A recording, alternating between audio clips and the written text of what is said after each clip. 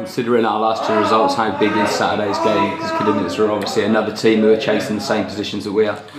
Yeah, it's not the be all and end all uh, by any means. If we win, fantastic, and if we lose, by no means are we out, you know, out the running. But we do need to get back to winning ways, and if that's going to be at Kidderminster, then then, then it's, it's, a, it's a great place to start because, as you said, they are in and around us. So we'll definitely look to go there and, and go there and not get beat is would certainly be my, my philosophy. We go there and keep a clean sheet and look nice and solid after conceding goals in the last two games, and, and that will be a big, big plus. And if we can nick it, then, then great. It means we've uh, it means we're a little bit closer.